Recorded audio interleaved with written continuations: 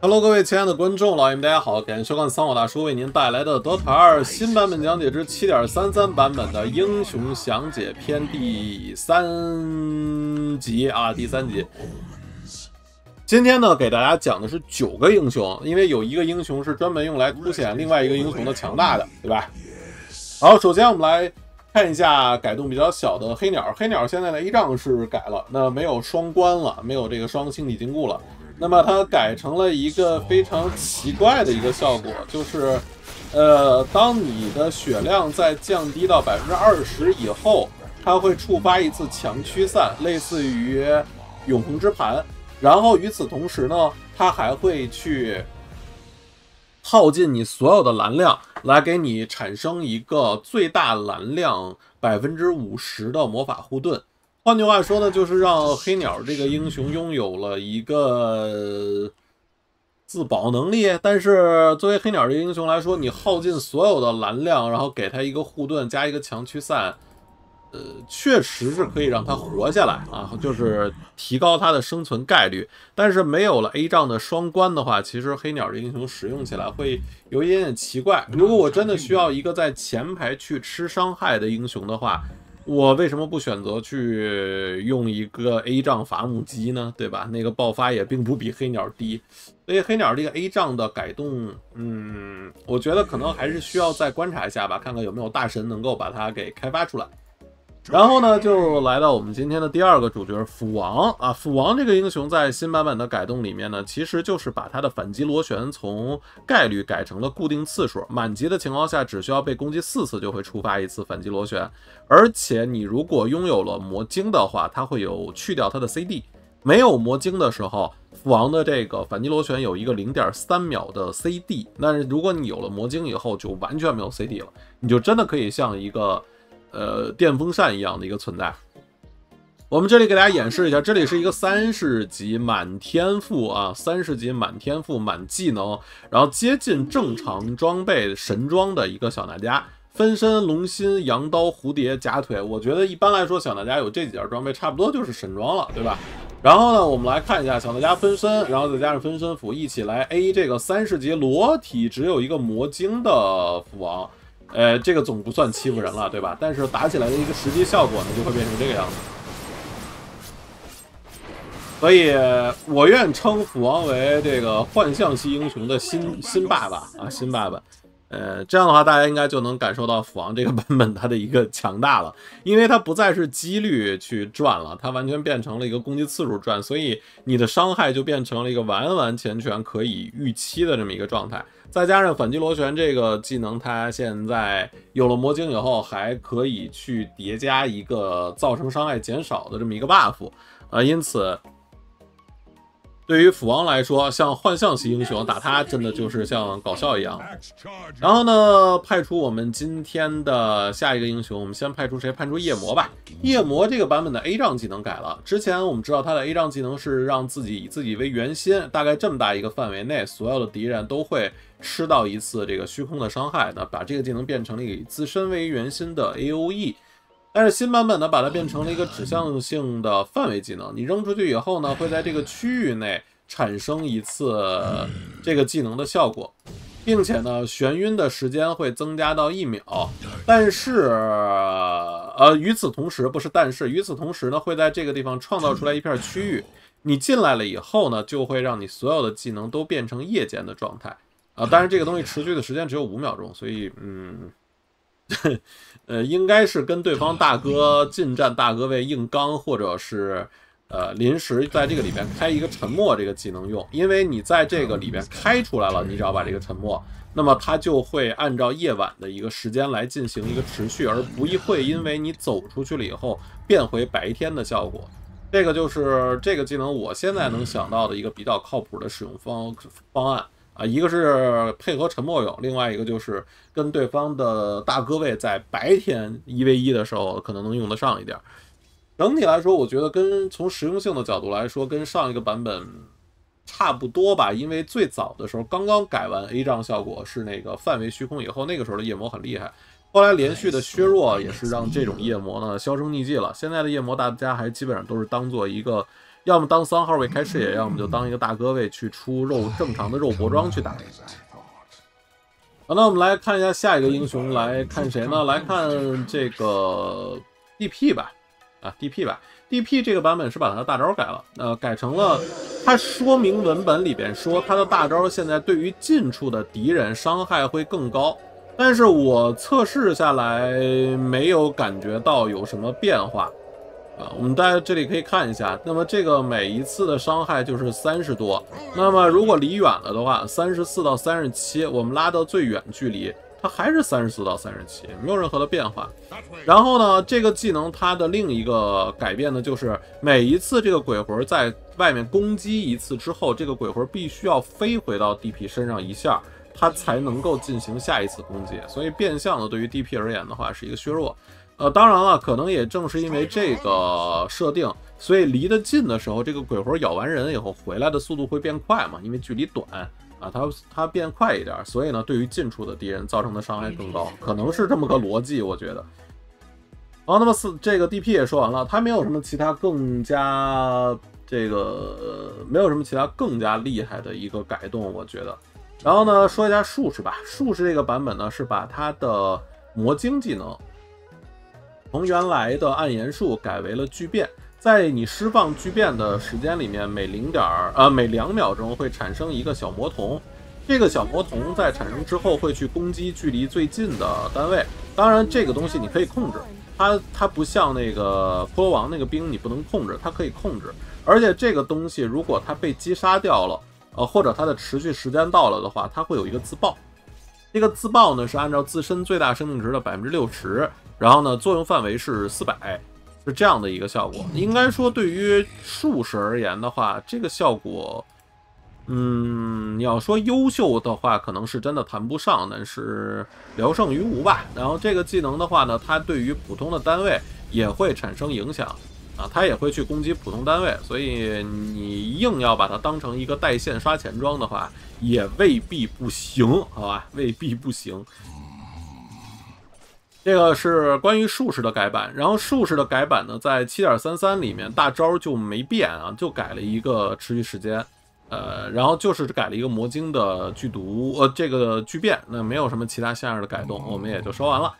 下一个英雄我们来说谁呢？敌法师这个也不说啊，其实这期节目好像只说八个英雄，敌法师也是用来去展示另外一个英雄用的。然后我们说一下沙王吧，沙王的新版本是。A 杖以前它是穿刺到敌方的英雄以后，会在敌人的身上增加一个腐蚀毒。现在不需要 A 杖也有这个效果。大家可以看到，不需要一杖也有这个腐蚀毒的效果。那现在的 A 杖是干啥用的呢？现在的 A 杖是在你放沙尘暴的时候，随机在地上放一次穿刺。但是这个穿刺它不是以前的那种一溜，它是一个圆形小的圆形范围，而且这个位置它是真的随机。它特别随机，你可以看到这个命中率相当的感人啊！我只能说是，啊，这个这个东西可能就是你你可能需要去洗洗脸啊，需要洗洗脸才能够把这个效果打出来的这么一个东西。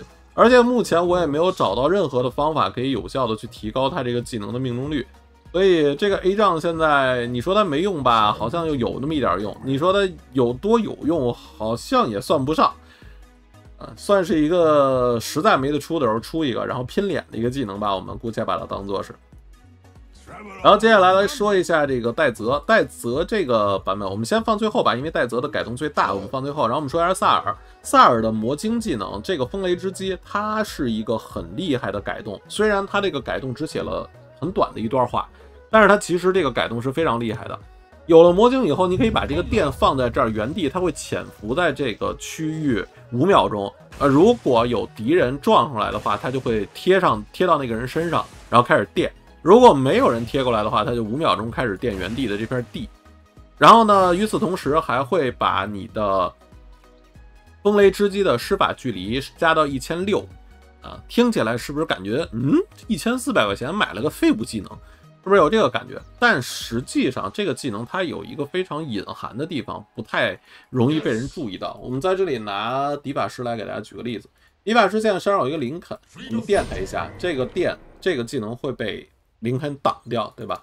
我们刷新一下，往地上放一个，再拿敌法师去撞，你会看到这个时候这个技能没有被挡。没有被林肯触发。那么敌法师的皮，自己的皮行不行呢？答案是也不行，也不能够反弹，也不能够去挡掉。所以这个技能，这个是它的第一个特点。第二个特点，它解决了萨尔这个英雄非常重要的一个痛点，就是当敌人丢失视野以后，我的恶念瞥视给不到，我看不到对方的英雄。那么这个时候，你就可以在对方的路过的路径上面去放一个这个技能。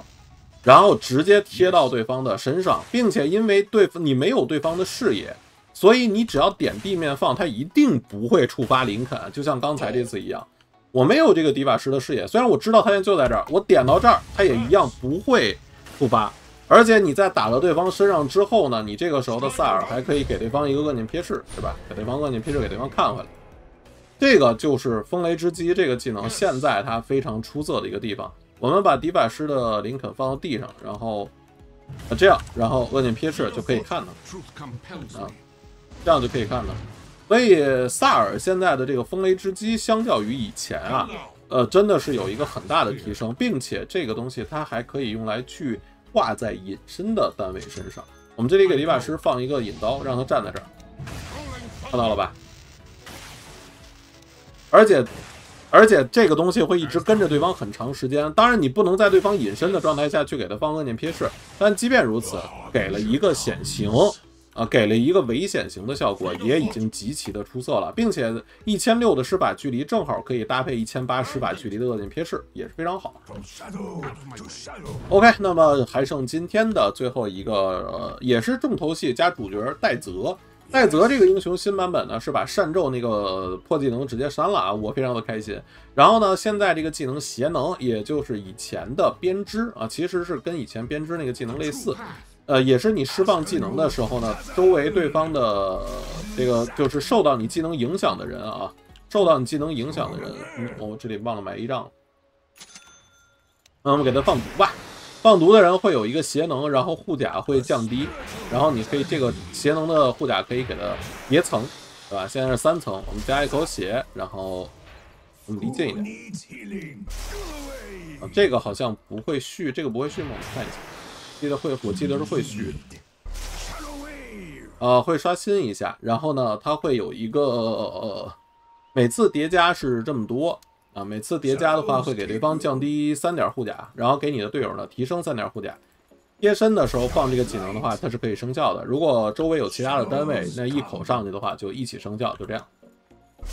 如果有其他单位的话，就一口生效。那这个是跟以前一样的一个机制，但是不一样的地方在于邪能这个技能现在你可以直接使用。你每次使用这个技能的时候呢，会减少你自己技能的 CD。比如现在大家看到我技能，然后我使一次。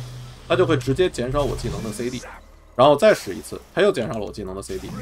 然后这个技能它不耗蓝啊，这个技能它不耗蓝，它不耗蓝的情况下，它耗血。而且你如果连续去使用这个这个技能的话，如果你连续去使用这个邪能的话，它会让你的耗血越来越高。那它能高到什么程度呢？它最后会让你每一次释放邪能的时候，它的数值极限是加到十五层。